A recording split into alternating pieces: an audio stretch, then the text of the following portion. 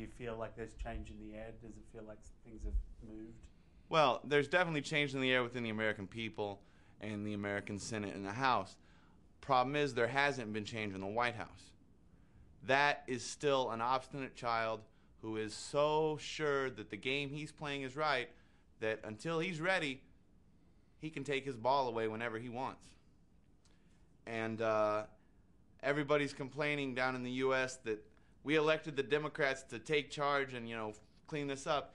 You didn't elect 67 Democrats to take charge and override a presidential veto. And until you have that, there will no be real change in Washington.